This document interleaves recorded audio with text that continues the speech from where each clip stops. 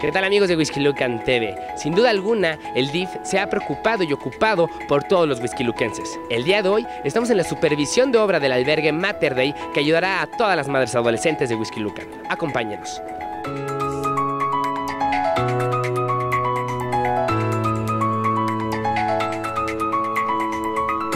La administración actual está dejando un legado para los whisky luquenses y para muestra basta con los avances de esta edificación.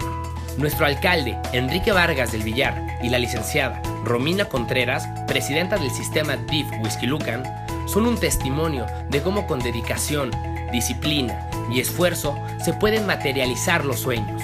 Este es un proyecto para nosotros de los más importantes. Ya estamos levantando los cimientos de lo que es el albergue de niños y de niñas, el albergue para las mamás adolescentes, que no solo va a ser un albergue, Alexis, va a tener un quirófano, una sala de expulsión de partos para que ellos puedan tener aquí a sus niños, que no vayan a tener el gasto del hospital y demás. El DIF se va a encargar de todo y aquí mismo tendrán un techo, comida durante el tiempo que ellas decidan. Se necesitan muchos pantalones para salir adelante. Les damos las gracias por decirles sí a la vida, por luchar por sus hijos, que el día de mañana cuando crezcan van a sentir tanta admiración y tanto respeto por sus mamás, porque se enfrentaron a unas adversidades muy grandes. Este espacio otorga a las mujeres que buscan salir adelante en su complicada situación los elementos básicos que favorezcan su buen desarrollo físico-emocional para su buena integración social. De verdad, ver este complejo de más de 40 millones de pesos del trabajo que están haciendo en el DIF, créanme que es un orgullo para mi gobierno. Un fuerte aplauso para toda la gente del DIF.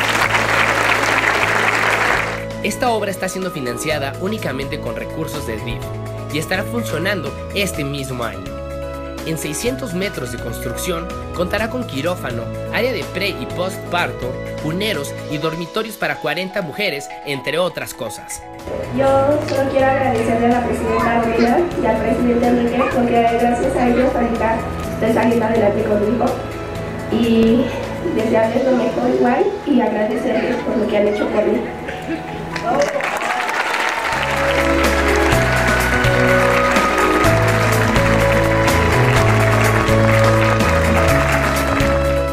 En administraciones pasadas, las obras se quedaban en primeras piedras. El día de hoy podemos ver el gran avance que tiene el complejo DIF, que sin duda alguna ayudará a muchos whisky luquenses. Seguiremos trabajando para todos ustedes. Yo soy Alex Rojas, nos vemos en la próxima.